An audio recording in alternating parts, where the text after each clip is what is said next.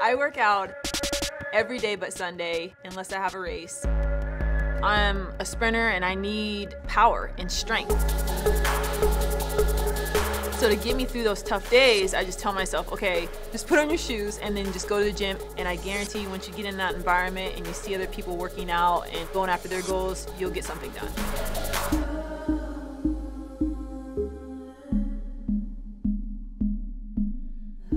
I'm not gonna let a failure defeat me.